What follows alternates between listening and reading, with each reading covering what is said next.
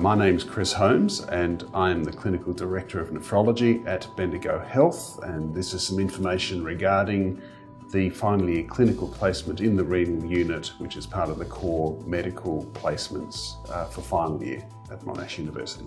The renal service at Bendigo Health has a comprehensive experience of all aspects of patients with kidney disease and this clinical rotation will allow students to work with closely with the intern and the registrar in the renal unit, uh, assessing all aspects of uh, clinical renal medicine. You'll be expected to work with the dialysis service, uh, to attend ward rounds and to work with the intern in ordering and following up tests, uh, attending outpatient clinics and working with the consultants. Uh, you'll get broad-based experience across all aspects of kidney disease, uh, seeing everything from patients before dialysis through their dialysis experience and following up patients with transplants.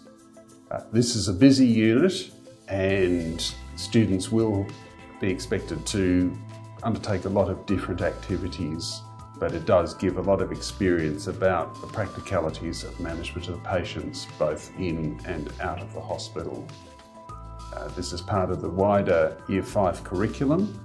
Uh, students will be able to do this rotation as part of a core medical position.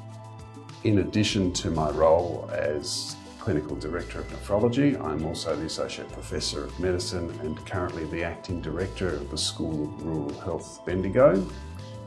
The school is committed to high quality undergraduate medical education in a rural location and students who attend Bendigo get a full breadth of clinical experience with a particular focus on clinical skills development and reinforcement.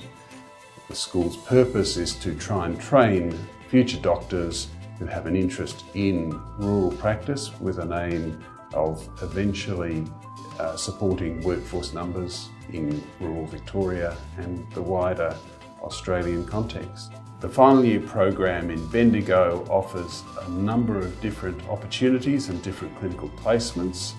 Uh, if you're interested in a rotation in Bendigo, perhaps look at a few of the other ones on offer and spend longer than one rotation here to gain the full breadth of experience.